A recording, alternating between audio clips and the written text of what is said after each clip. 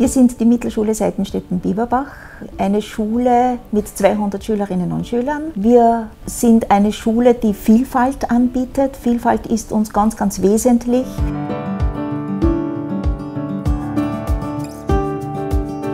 Wir haben uns für den Vormittag eine neue Zeitstruktur geschaffen. Nach drei Einheiten zu je 45 Minuten äh, folgt also die große Pause drauf und dann ist das Lernband eingefügt von 10.40 Uhr bis 11.10 Uhr. Täglich gibt es einen anderen Schwerpunkt. Am Montag heißt es für alle Schüler lesen in aller Vielfalt. Also bei uns ist der Deutschunterricht nicht unbedingt der traditionelle Deutschunterricht. Wir haben jeden Montag das Leselernband. Das ist eine halbe Stunde, wo zehn Lehrer in einer Klasse unterrichten und das da auch sehr vielfältig gestaltet wird. Lesen am Computer, Lesen in der Bibliothek, Mundart. Es gibt äh, regelmäßig auch Lesegäste die zu uns kommen, die ein Buch mitnehmen, das sie den Kindern vorstellen.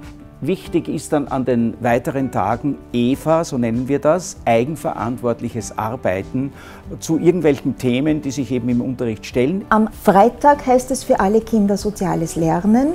Diese Einheit übernimmt meist der Klassenvorstand und da werden soziale Aspekte mit den Kindern durchgespielt. Geht jetzt einmal in euer Haus, richtet das wieder so ein bisschen her, was jetzt zerstört wurde. Wir sind auf einer Insel und unser Schiff ist untergegangen.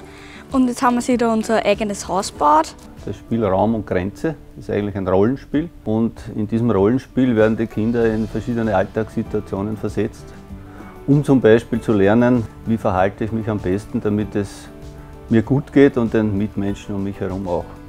Was wollen Sie zum Trinken? Danke. Den Bereich Kommunizieren decken wir auch ab mit dem Angebot Reporter unterwegs. Was müsste geschehen, dass Kinder die Natur wieder den PC vorziehen? Wir haben zehn Fragen und sie müssen manchmal Ja antworten und manchmal etwas anderes. Und in weiterer Folge wird dann ein Bericht verfasst, ein Zeitungsbericht, den wir dann in jedem Fall online schalten.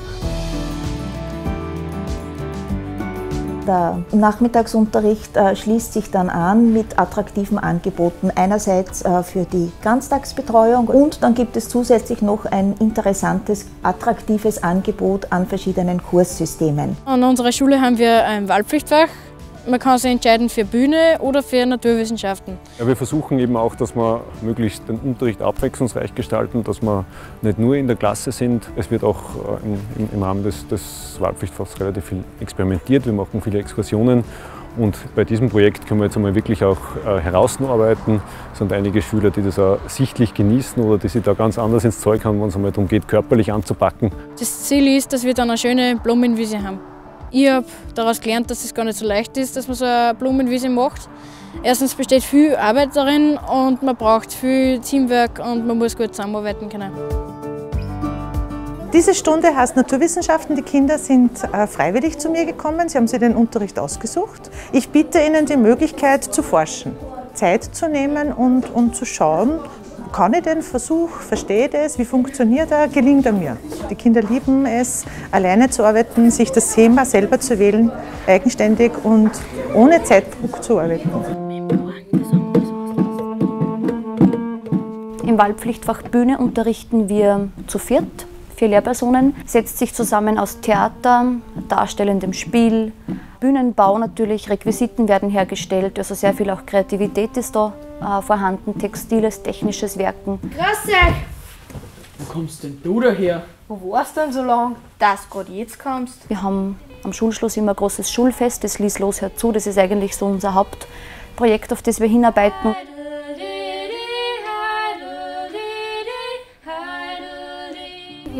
Ich möchte euch heute zu unserem dritten Klassenrat begrüßen. In einem Klassenrat kommt jeder zu Wort. Da kann man über die Probleme der Mitschüler äh, besprechen und diskutieren und vielleicht geht es ihm dann besser.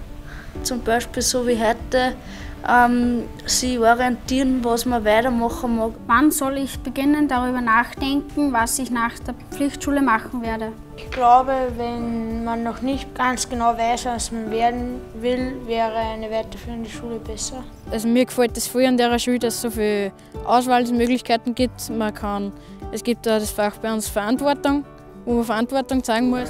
Wir wollten von Anfang an quasi was mit Menschen.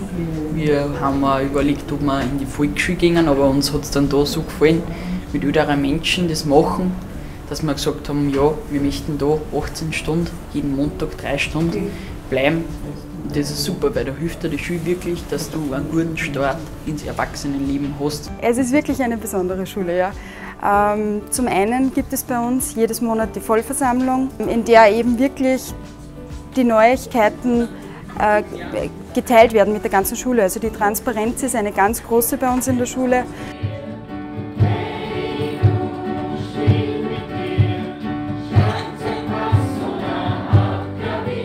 Unsere Schule hat einen riesen Entwicklungsprozess hinter sich. Unsere Schule ist über diese letzten 15 Jahre irrsinnig gewachsen, hat sich verbreitert und geht sehr stark in die Eigenständigkeit der Schüler. Ich betone immer, dass die Vielfalt des Kollegiums ist das Kapital unserer Schule. Und diese Vielfalt an verschiedenen Schlüsselstellen einzubinden und das auch zu ermöglichen, dass jeder gehört wird und dass jeder sich einbringen kann und dass jeder seine Ideen einbringen kann. Äh, ich glaube, das ist ein ganz ein wesentliches Geheimnis, ganz, ganz wichtig. Es wird immer wieder neue Entwicklungen und Ströme geben und da würde ich meinen, dass man das Gute aufgreift, anderes wieder verwirft, einfach offen in die Zukunft geht.